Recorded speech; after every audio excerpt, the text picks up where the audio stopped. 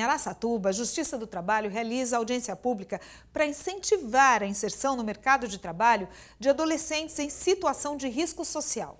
O foco é dar possibilidades de emprego a internos e ex-internos da Fundação Casa de Araçatuba. Uma preocupação natural do empresariado de, de colocar um jovem egresso da Fundação Casa, que provavelmente cometeu um delito, e dar uma chance para esse jovem de trabalho, de profissionalização, de aprendizagem e de inserção no mercado de trabalho. A possibilidade de reescrever uma nova história por meio do trabalho fez diferença na vida deste interno. Ele cumpre medida na Fundação Casa de Araçatuba e há cinco meses está trabalhando em um supermercado da cidade. Agora, né, eu posso ajudar minha família, porque antes eu não podia, não tinha um serviço, foi uma oportunidade muito boa. Há dois anos, este jovem também cumpriu medida socioeducativa na Fundação Casa de Araçatuba.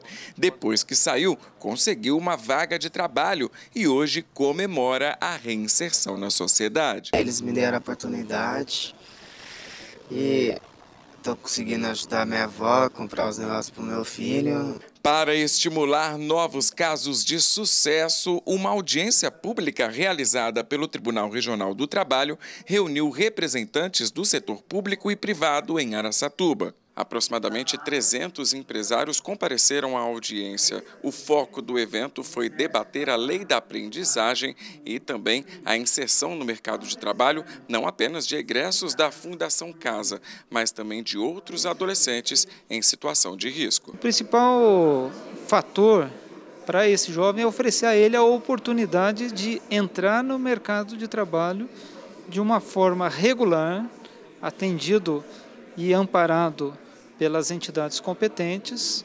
e ter condições de se desenvolver enquanto cidadão.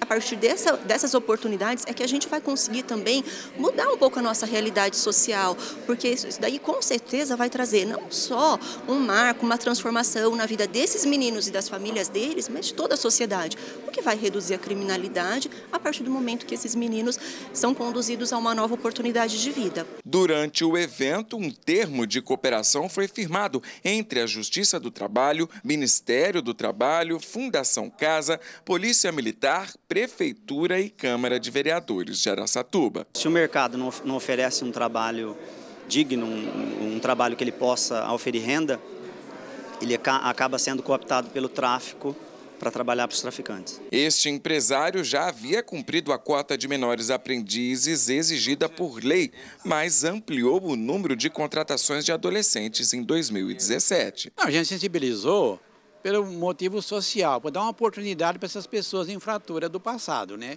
Para ele se generar e entrar na sociedade. Se ele tem uma oportunidade, aí ele pode ir para frente e seguir a vida dele.